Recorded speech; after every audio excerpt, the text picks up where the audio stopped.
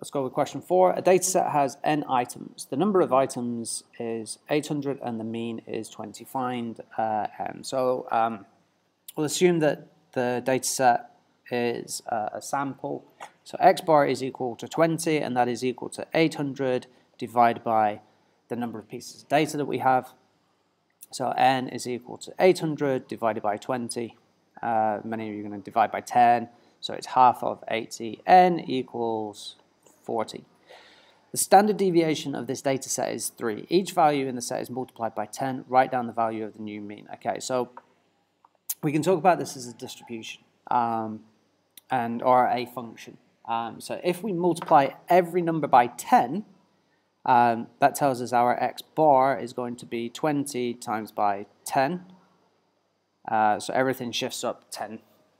There's a, uh, what is it, uh, function uh, to f, uh, 10 f of x. Okay, the value of the new variance. The variance, variance, variance is represented by sigma squared. Sigma is the standard deviation. Standard deviation. We're told in the question that the standard deviation is 3. But what we've done is we've got 10 times that, which gives us 30. So that's the standard deviation of the new data set.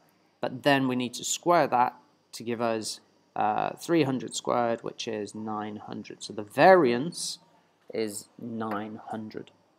And that's question four.